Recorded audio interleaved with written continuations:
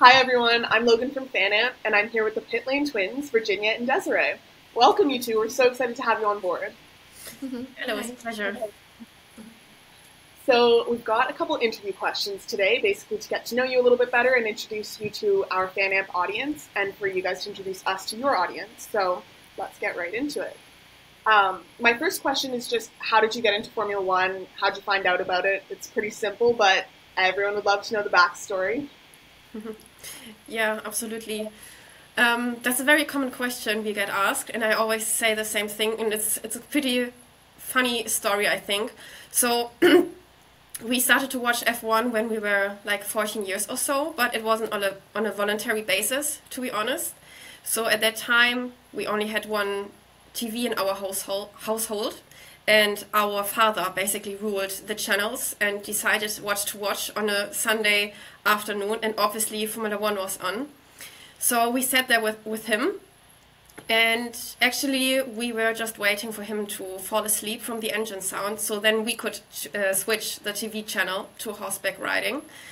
And that tactic um, yeah, it it was quite successful from time to time, but of course we had to like kill the minutes uh, with him and watch Formula One. So these were the first touch points with F1, and it, it took us another 10 years or so to really fall in love with the sport and travel to a race. So the first one we traveled to was um, Barcelona in 2018, and since then, yeah, this the sport the sport hooked us, and yeah, a few uh, years later we started the account. Wow. Did you guys uh, do equestrian, or were you just did you just enjoy watching it? We were also equestrians. Yeah, we both still have the horses, so we have been horse girls since like we've been we were five years or so. So mm-hmm. um, yeah, we just loved that sport so much, and of course we wanted to watch it on TV as well. Yeah. I love that the show that uh, your F1 was kind of competing with was equestrian horse race, not horse racing, was it, or was it? Um... It was um, show jumping or dressage show riding. Jumping. So our um, yeah our life has always been about, about horsepower. May it be like the real horse, or horsepower in in the form of cars. I love that. Who did your dad support when he used to watch it with you guys? It was. I think it was Michael, wasn't he? Probably, yeah. Yeah. yeah. I, th- I, think he was always for Ferrari or or German uh, driver, and and he also loves red cars, so it probably was Ferrari. Yeah. Did he like Sebastian Vettel at all, or nah? Don't think. I, I I'm not sure. If he yeah, supported Sebastian. Me neither. I mean, basically, he wasn't like he wasn't a die-hard fan, to be honest, because he fall asleep. You, you know, he just watched the start of the race and then, ah, okay, the engine sounds, they are a very good lullaby song, and just mm-hmm. fell, fell asleep, and that was our luck. That's hilarious. Have you guys been to a race with your dad yet, or no? We went, I think it was 2009, to the qualifying in Hockenheim. That was a. Nürburgring. Nürburgring, correct, Nürburgring. So that was a birthday present or so, I think, for him. And then we said, okay, we, like we are going as the whole family, like also with our mother, and we accompanied him to be there uh, on the grandstand. Uh, but we didn't really like it. It was very cold also, and it was very very noisy. So by that time they had the old uh, engines, and of course that was louder, and we didn't had any earplugs with us. So it was it was loud, and it was cold. So yeah, we didn't really like it. no, not a great first introduction to it. um, I know that you guys are getting into Formula E as well. I was kind of wondering when and how you started getting into that. So um, you've got to know that we are very interested in like environmental topics and how to live sustainable. So we always had like an idea of what Formula E is, but we didn't really follow it to be honest because I think it wasn't even shown on German television. I don't I don't quite remember. I mean, Formula One was always like uh, number one for us, and uh, we had we are watching it um, on one certain channel, and they show Formula E on another channel. So you yeah, I mean, of course you also have to know like when the race is on in qualifying, etc. But it's not very popular here in Germany. Formula One, I mean, Formula One is still not so popular, but Formula E is definitely less. And um, I mean, like last year, early, no, actually in 2022, we thought, hmm, what else could we do than uh, covering Formula One and posting content content about it? And then, of course, as I said, we are very interested in su sustainability topics. And we thought, okay, Formula E is also a cool racing series. We could um, try that as well. But we didn't really get into it. And then um, someone from Formula E messaged us if we want to collaborate with them in the 2023 season. And this was like a dream come true because we always had thought of, ah, we could actually do something with Formula E, but we didn't know how to approach it. And then they made the first step and make it very easy for us to just say yes. Um, and so last year we we watched the races and traveled to, to races as well. So it was very easy, I must say, to get into it. I don't know how you feel about that, Desiree. But I think now, yeah, like I think uh, we watched the first two races of the season now, and I already know all the drivers, etc. So, I mean, that's the first step always to know yeah. the drivers and the teams. And they have 22 drivers, so two more than in Formula One. Um, so, yeah.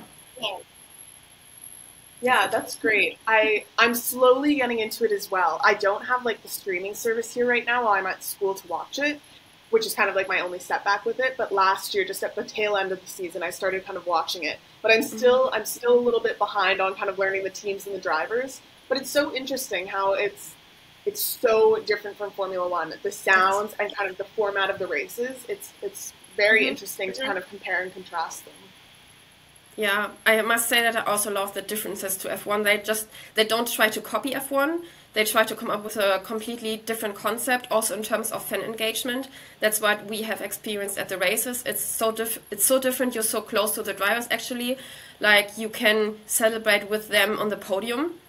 So this is so so different to F1, like where the drivers are like uh, miles away from you and you see it, you know um, from yeah. so far away. But there you are, you can be like in the in the first row um, down at the stage and see how they celebrate. So that's very very cool concept, definitely.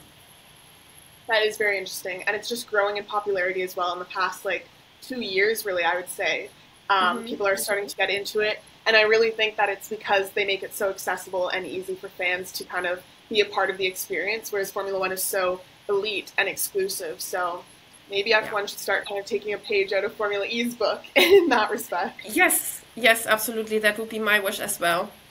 Yeah. So they can they can learn from each other. exactly, exactly. Um, I guess my next question, which kind of leads off of that, is what is the story behind starting your mission, Fans for Fans? You guys are so for the fans, so fan based, and I feel like all of your content is targeted so that everyone kind of feels part of it. It's mm-hmm. it's very Formula E of you guys, um, where you make it so that everyone kind of feels a part of the experience, which is amazing. So I was wondering, what's the story behind you guys starting that, and where did you feel there was like a gap that you wanted to fill? Yeah, so so I think we first noticed that in mid 2021 when we were in, in, in Spielberg, and that was also the time when we first really posted about our racing experiences on IG. I mean, we started the account in 2019, but it was more like a personal photo album that was accessible for everyone on social media. But in 2021, we took that more serious. And I think that was also the time when we realized that no team or TV station or any magazine um, was showing what it's like for fans being on a racetrack or meeting drivers, etc., like sharing the whole experiences and not only like the TV coverage, the interviews, etc. And I think what was also missing on social media at that time was like how the fans really feel about something happens to a driver during the race or what it's like during the summer break, uh, etc.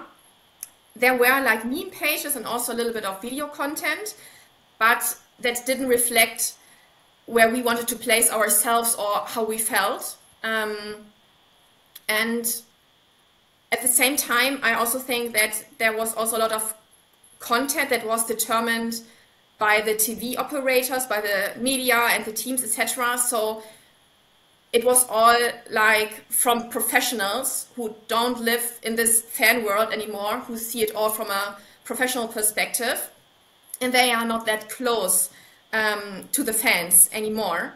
Uh, and that's where we, where, where we wanted to place um, ourselves so that we know like what fans really wanted to see and how they feel etc and that's why we came up with the concept fans for fans. So we wanted to deliver fan-based content or fan-related content from fans to fans. And um, that's why I also always ask ourselves the questions like what does a fan get out of your our content where can we add value and um, I think that was the right time because I think at that time, no, like the, the influencer industry or the content content creator industry in Formula One, it wasn't it wasn't there, and now it, it really grew. And I think that that we like put a milestone or like we were at the beginning of that. Huh? The early birds. Yeah, we were the early birds because we thought it works in so many industries, like in fashion, fitness, etc. And why shouldn't it work in Formula One or in motorsports? I love that. And when I started watching Formula One, I guess like three years ago now too, you guys were kind of the first people that I really started watching on TikTok and on Instagram. And I loved seeing your race experiences because I always wondered what it was going to be like to go to a race. Like what grandstands are like, where you can get driver autographs, which you guys are masters at actually. So I think we're gonna have to give the fans some tips on that later on. But mm-hmm. I really loved your content. It was so tailored to, like you said, um, content from fans for the fans.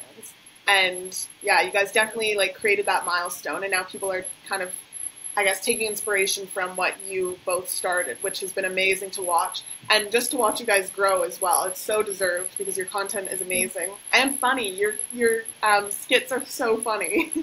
Mm, yeah. Yeah, thank you very much. yeah, yeah, I mean, and as you said um, in the beginning, um, like we know, we know that only 1% of the fans ever attend a race live and but so many dream of it. And that's why we're also running those giveaways and competition for example for f1 tickets because we want to fulfill the dream uh, of others which make us makes us happy at the same time. And i think that also a little bit sets us apart. It's not only the content but also the giveaways. We try to give the fans that support us something back. Um, yeah because we know for example also that many of many of the people want like a signed cap from from their favorite driver, and we we are the masters of meeting drivers. And for us, it's more about the moment um, we spend with the drivers, not not only like the cap we get out of it. Um, so if, if we get the cabs, we want to give our fans something back, and um, I think they, they really appreciate that. I think so. I think that's such a selfless thing to do. And like you said, you appreciate the moment, but I know so many people would appreciate the moment and the cap, probably myself included. Um, do you guys have any caps, or do you kind of try and give them all away, or any, I guess, like signed merchandise? We do have. Um, there's there's one signed Lewis cap I still have, but I got it from someone else. And, and, and, and I don't have that anymore because I, I gave it away to another fan. um, because because I, I just thought I could get a cap like ten times a year or very often a year, and for, for, for another fan it, means so so so much more. And i mean we, we also have that uh, signed picture of us with lewis from spielberg 2019 which means the world to us. And it is. that's, enough i mean yeah it's like enough for us.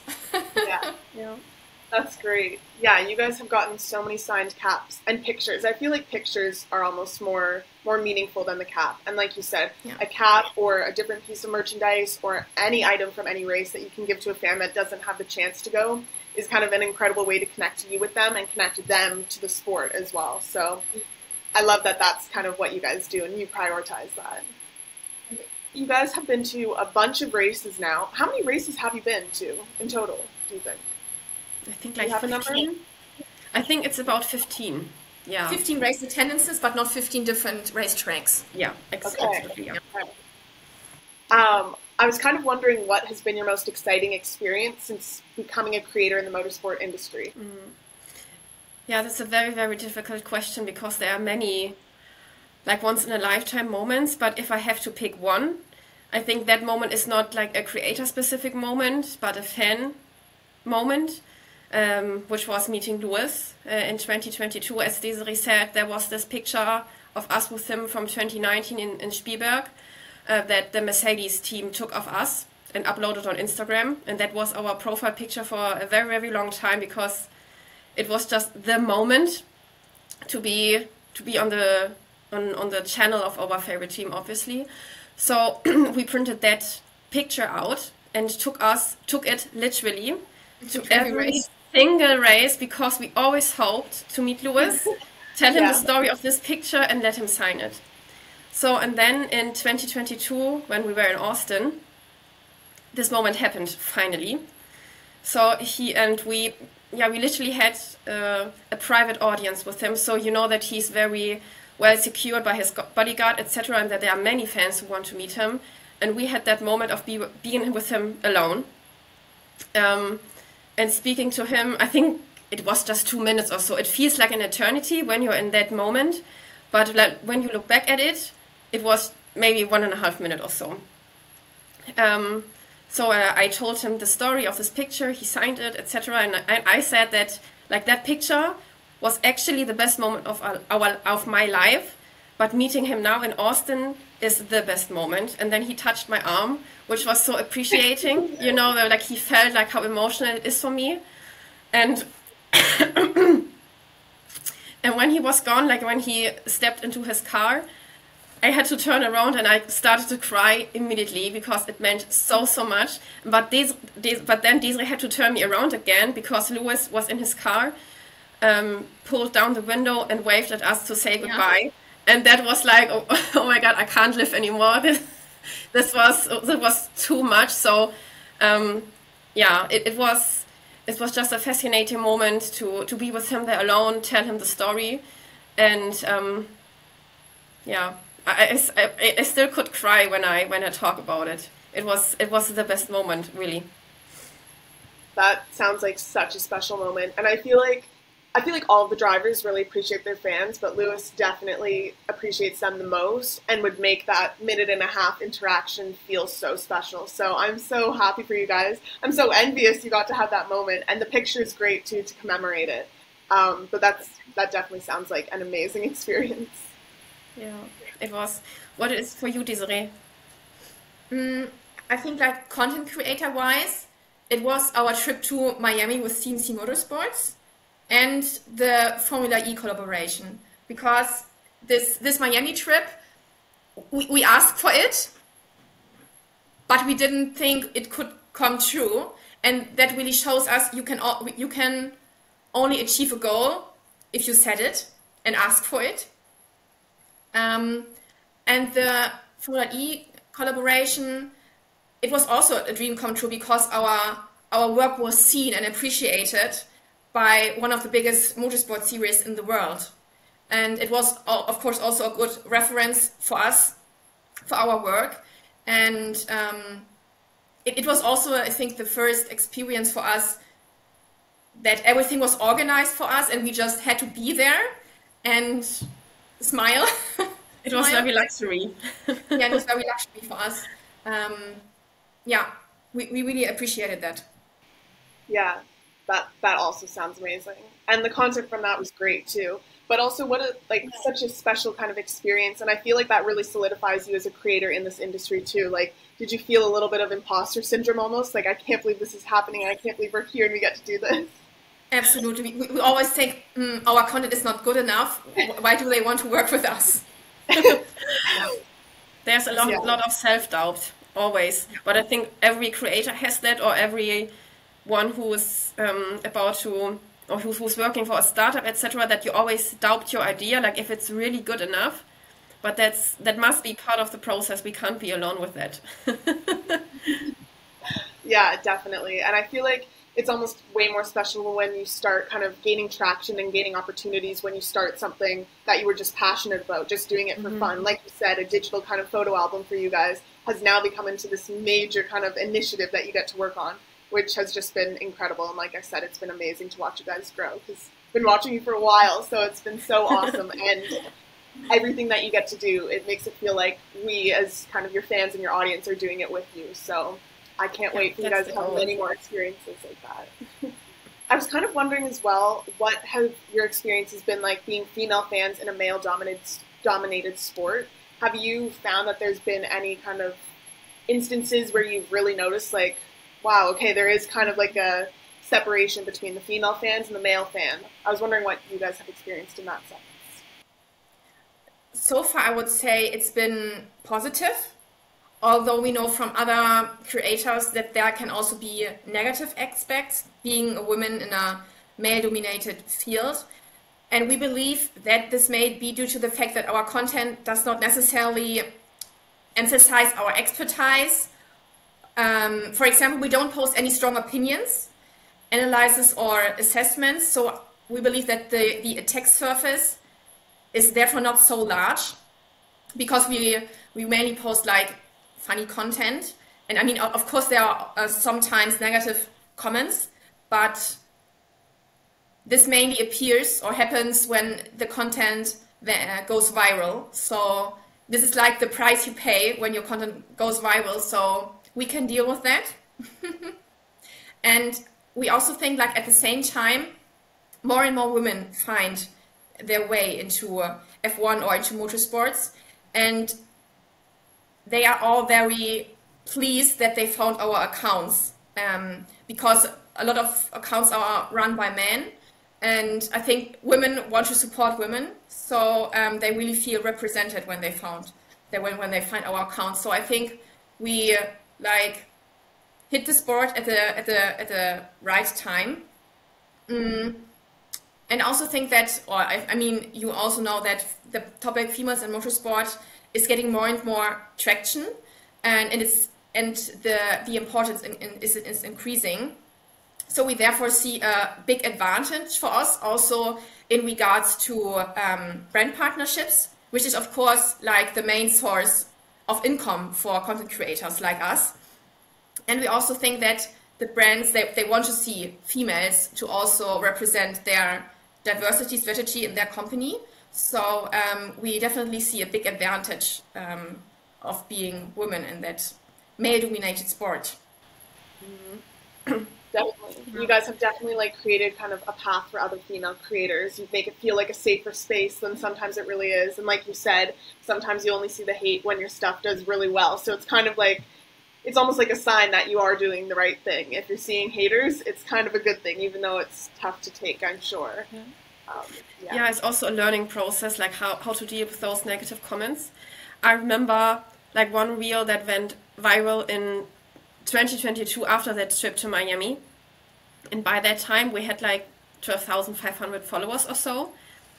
And then that reel was about F1 traveling.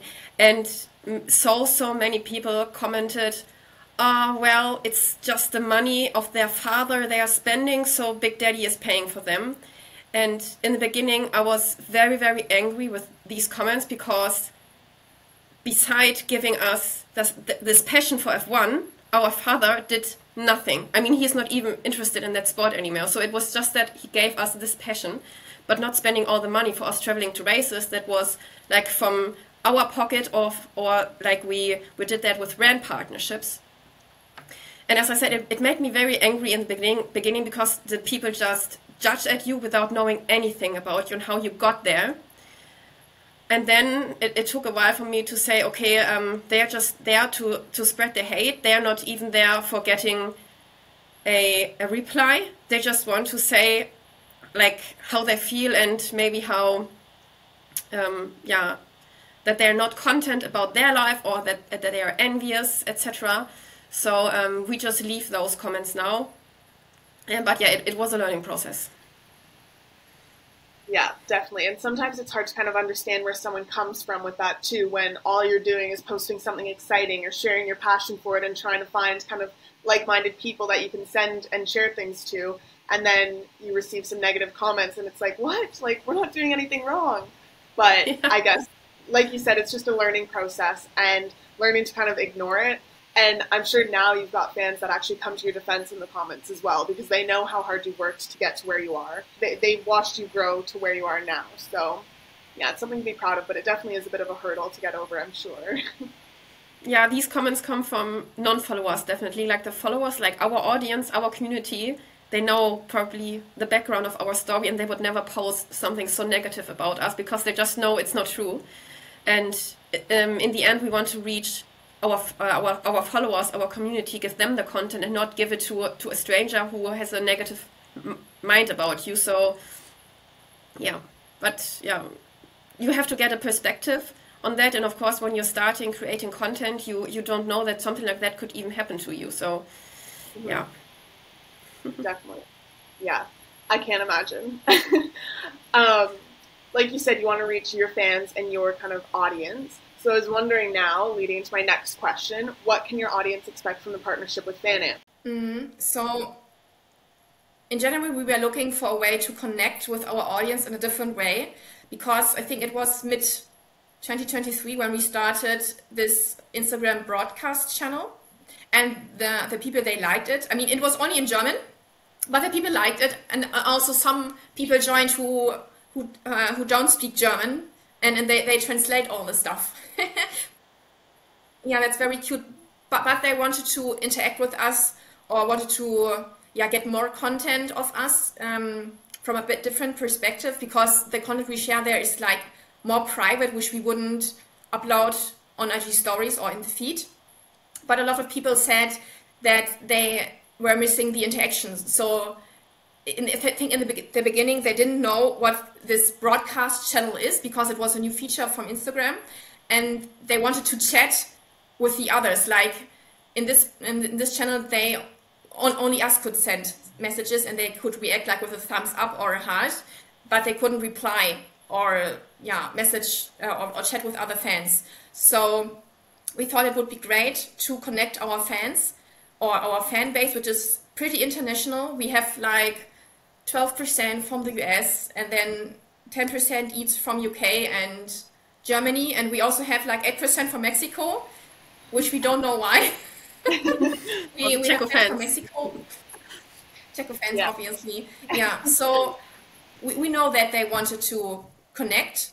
And that also showed us like the community meeting that we had in December last year. Um, because a lot of fans, they are like alone with their passion they don't have F1 fans or yeah other fans like in in their family or anything like that. So they want to connect uh, with others. And then we found uh, the FanAmp platform, and I think that's the perfect platform to connect with each other. And then in the second, or the, the second question was, which topics do we want to want to place there? Because obviously it shouldn't be like a copy to Instagram, which is not possible at all. So um, we took a vote on which topics would be interested for our audience, and it was a little bit surprising that F1 news and opinions were so interesting for them because we personally we don't um, look so much into news. Uh, of course, we read them, but it's not like we research news like one hour per day. Think we should do that now because that was like the main topic that was interesting for them.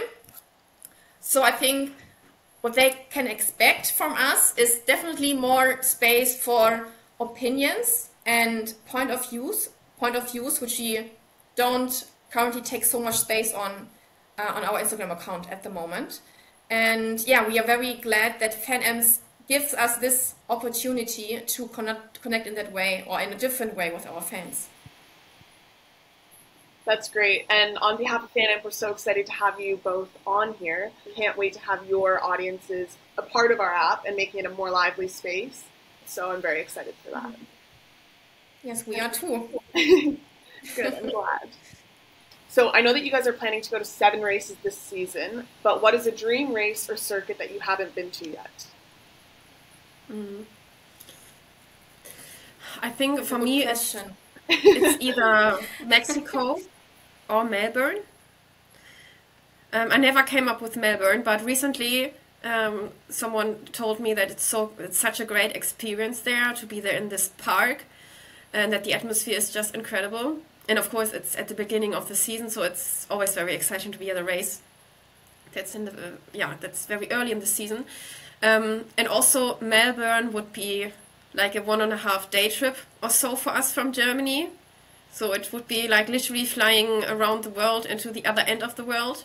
That would be, of course, in a very exciting journey itself. You know, to not only be for a Formula One trip, but also on a very, very long uh, flight and see, um, yeah, how it is at another uh, continent actually, and not only to be there like just for the race week or so, but I think I would spend there some more time as well, just to get used to the to the other uh, time zone as well. and establish a new sleeping habit. So um, yeah, Melbourne would definitely be interesting for me, but also Mexico probably because it just seems so um, yeah passionate, uh, fan fantastic fans there, especially there in this arena. When the cars enter the, the arena, I think that must be an incredible feeling. So I would probably pick these two. Yeah. Yeah, I think both of those races have some of the best kind of fan atmospheres, I would say. So those are definitely top of my list as well. So, and, and I think I would vote for a race that is not on the calendar yet, which is Hockenheim, because we want to see a German race again and just feel like home. I mean, we, we also feel home in Austria. It's always a, a different, yeah, different feeling there because there were so many positive memories we made there but yeah, attending a German race would be even greater, I guess. Yeah, I'm sure. And I know a lot of fans would love the return of Hockenheim. yeah. Yeah. what What's your favorite race that you guys have been to, or favorite circuit, or like best atmosphere? Any of those? It was Abu Dhabi, I guess, because it was a very reasonable price for a lot of entertainment you got there. Because they they had the, those after race concert and the organization was on point the facilities were so modern. Yeah, so we would really uh, we would really recommend that race, followed by Austin. Followed by Austin, yeah, yeah, yeah that's definitely Spielberg, Desiree. Austin and then Sp yeah, yeah. I mean Spielberg, uh, so the Austrian race. Uh, it will always have a, a, special place in our heart because, of, obviously, as I told you, the 20, uh, 2019 story with Lewis, the picture that was that was it, and um, also the landscape is very very beautiful it also has a very very good organization and also compared to other european races it is the best really the best also in terms of fan engagement i've never seen something like that before and they improve uh, year by year um, so if someone is looking for an a European race, I've heard that a couple of times before. Oh, I want to go to Imola. This will be my first European race. I always say, no, no, no, no. Please don't do that. Imola is really, in, in, our opinion, the worst. Better decide for Spielberg. It also has a very good price. Um, and there's most of the time better, better weather. So, um, yeah, Spielberg is great. And as Desiree said, Abu, Abu Dhabi is really, that's, a, that's a new standard, actually, for us like now our our standards are so so high. You know, we are flying to Bahrain next week, and I'm so so excited to see how they do it because personally I think that not only the US is the future of Formula One, but also the Middle East, um, because they just organize everything different and they have much more space. Like if you compare it to Spa, for example, it's a very traditional racetrack, and I also I I get why people love it so much. But in terms of transportation, etc., and organization, it's so so difficult there because it's not made for 250,000 fans to come there at that weekend. And of course, like spaces like Abu Dhabi or Bahrain, it's it's a new circuit with not so much things around it, like not a city or so. So um, it's it's much more better. Yeah, definitely. Imola was my first race. oh no! I agree. I agree. In fan engagement, there was nothing. I went for the session. No. No, and I zero. it. Um, but it was great. But yes, so funny that you said that because I kind of left the race weekend and I was like, wow, we didn't get anything that a lot of the other tracks get. There was no there was no concerts. I also went in like 2022, kind of just coming off of COVID, so they didn't have as much, but no concerts, no kind of fan engagement zones. There was like nothing really. It's you went to go watch the sessions and then you left the track. Exactly. Yeah. You know, and Yeah. it's, it, wa- it was very muddy on the parking lots. We had so, so much fear that we would got stuck or slip, slide into another car or so. So we left the race early. We didn't even um, finish the race. We just left, I think, like 30 minutes before the, the, uh, the, they crossed the finish line because I said I want to be the first one who is leaving this fucking parking lot yeah. because otherwise I will crash probably. Um, and, and yeah, and, and even then it was al- already very muddy from the days before, and it was dangerous. So yeah, not the best. No, definitely not. but that's the only reason I've been to right now, so I have nothing to compare it to. So in my mind, it was awesome. So the bar is set nice and low for the next ones. um, I was kind of wondering too, like we mentioned, you guys are masters at getting autographs and meeting the drivers. What's been the best track for you guys to find the drivers in a non-stalker, creepy way, but um, kind of locate them and get their autographs and meet them? It is Austria, definitely. Okay. Um, I mean, because like over the past years, there were actually no autograph sessions anymore. I think with COVID, they just said, okay, we won't replace them, we just leave them. And this is, of course, very disappointing for fans because many want to get to meet the drivers and get autographs, of course. And in Austria, they have this green carpet event. Um, I think it's only on, on Sundays, right, Diesel? Or is it also Saturdays? I think it's only on, on Sundays. So they build like a like a green carpet uh, and put barriers on, on both sides, and then the fe- the fans can meet behind those fences and um, wait for the drivers. Of course, not all drivers come, but some come. So um, this is like the the chance for, for the fans to get uh, noticed by the drivers, wave their flag, etc., ask for autographs, and so. Of course, it's very very busy, but at least there is a possibility uh, to meet the drivers because at other racetracks there are of course there are uh, there are interview sessions etc where the drivers are on stage but not in that kind of way that um, the fans can really so to say line up and um, wait of course hours and hours that comes with meeting drivers waiting like five hours or so maybe also sometimes in the rain get up at five o'clock and wait and wait there for five hours um, so yeah, Austria was always um, very very good in fan engagement, and I think I hope that that they still are uh, this this year. Um, yeah, definitely. Yeah, that sounds amazing. I've never thought of, or I guess heard of Austria being good for fan engagement. I kind of always thought it would, or not fan engagement, meeting the drivers and stuff. Mhm. I always heard Australia, like Melbourne, the Melbourne Walk. Yes, obviously. Yes. And then I think Silverstone, I feel like I heard was pretty good too. Did you Mhm. guys find that? Yeah. They sell those inner track tickets, and I think that that's, that's for a reasonable price. Um, So you can get like closer, or you can get in front of the paddock, also of course with barriers, and um, the parking lot of the drivers is is opposite. So um, you can see them. Sometimes they don't stop, but at least you can see them and scream George or whatever. Sometimes they stop also. Yeah. Well, that was great, guys. Uh, I guess my last kind of thing, just to finish off here, would be where can everyone find you? Give a little shameless plug, and also let the people know what seven races you're going to this year. It'll be so exciting to see, unless it's a secret. It's not a secret. Okay. I mean, it could be eight, but this is for a secret for now. Okay. Okay. So yeah, we are going to the first race in Bahrain, of course, Mhm. and um, followed by Miami, which only will be me because Virginia is on an internship. Imola, we hope this one is better than 2022. uh, Silverstone, Spa, Hungary, and Austria. But this is only like the first half of the season. We hope that there will come more in the second half of the season. yes. The first half. And you can find us on Instagram pitlane underline twins, and the same applies for TikTok. And of course, soon in, at, at FanAmp. Yeah. Also, the pitlane twins is our channel, I guess. Yeah. That's great, guys. Well, thank you so much for your time. That was so amazing and so fun, and I can't wait to see you guys on FanAmp on the app. And I hope to one day meet you guys at the track and get some driver autographs with you. for sure. thank you.